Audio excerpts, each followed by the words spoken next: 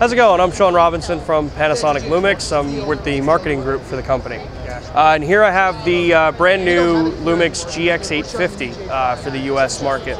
Uh, this is our entry level Micro Four Thirds camera uh, that utilizes a 16 megapixel uh, Micro Four Thirds chip. It's interchangeable lens, so every lens in the Lumix lineup is going to be compatible and will work with this camera, everywhere, everything down from our 8 millimeter up to the 100 to 400 millimeter.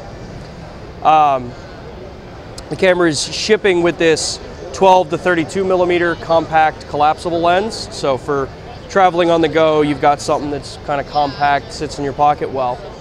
Um, some of the big things about it is we've added uh, this 180 degree flip front uh, LCD.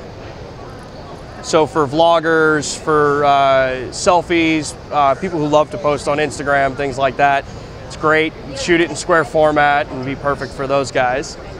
Um, and then in addition, we've also added, uh, like the rest of our products, we've added our 4K photo, our 4K video, and our post focus functionality in tandem with a new touchscreen design on this camera.